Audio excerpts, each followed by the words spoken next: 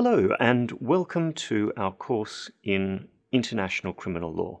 My name is Douglas Guilfoyle, and I'm delighted to be able to introduce the series of units you'll be going through in this course. International criminal law is a fascinating area of study for a number of reasons. First, it obviously, in its very name, deals with the intersection between concepts of criminal law, largely drawn from national legal systems, and international law.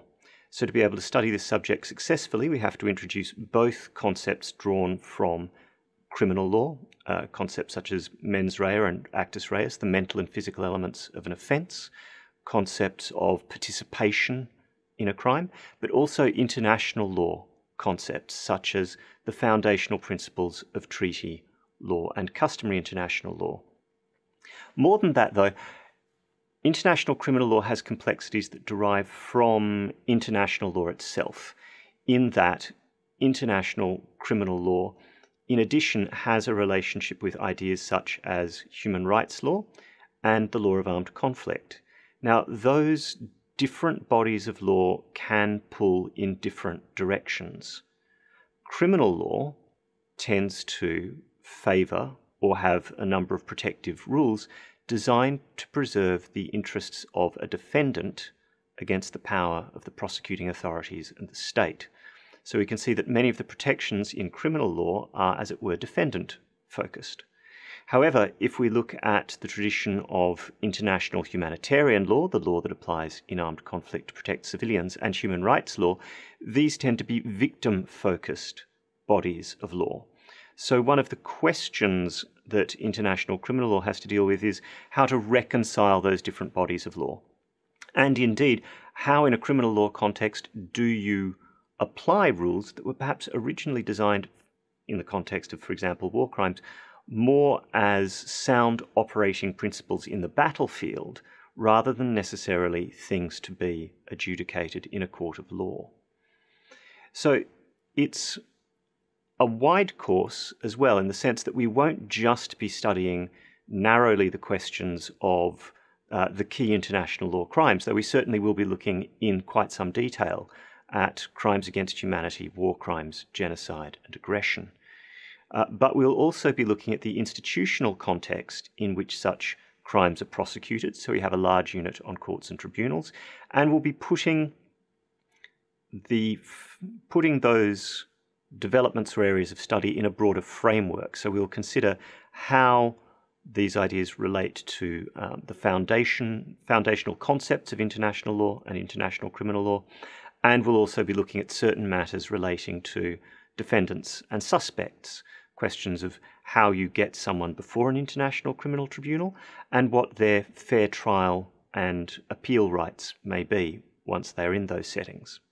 So let's turn then briefly to uh, an outline of what we'll be studying in this course. So here we have the famous image of Justice Jackson, the chief prosecutor at the Nuremberg tribunals, opening those proceedings, a famous and dramatic moment that we now see as being perhaps the beginning of international criminal law as we would now recognize it. So, in this context, what are we going to look at? Well, Module A sets the general scene uh, we look at concepts such as um, customary international law and treaty law and how those have helped in the development of international law. But we also remind ourselves about basic principles of state jurisdiction and prosecution because if international criminal law is to be truly successful, most such cases will have to be heard at a national level. And to the extent that there are international courts and tribunals, such as the International Criminal Court, they exercise, in effect, a kind of delegated authority from national jurisdictions. So we need to understand what the limits of those national powers are before they are delegated to international tribunals. Uh, in Module B, we'll take a deeper look at international criminal courts and tribunals, um, their uh, history, their jurisdiction, um, and how states um, cooperate with them or perhaps not. Module C will be the core international criminal crimes, those that are generally found within the jurisdiction of international criminal tribunals. So we'll be looking at, uh, as I've said, questions of war crimes, crimes against humanity, genocide, and aggression, but also ideas about the elements of international crimes. How do these crimes uh, fit together? What has to be proven to make out a case?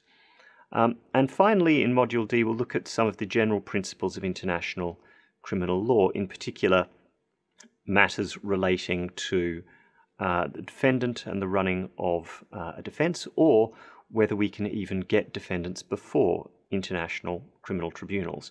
So we'll be looking at questions such as um, fair trial rights and revision of sentences, uh, and questions involving uh, the immunities, potentially, of people suspected of international crimes, insofar as international crimes are often committed by agents of state, there will be questions about whether they can be tried for what were potentially official acts, and how the progressive developments of international criminal law and a trend towards increasing accountability interact with a law with 19th century and deeper roots that was designed to preserve diplomatic relations between states.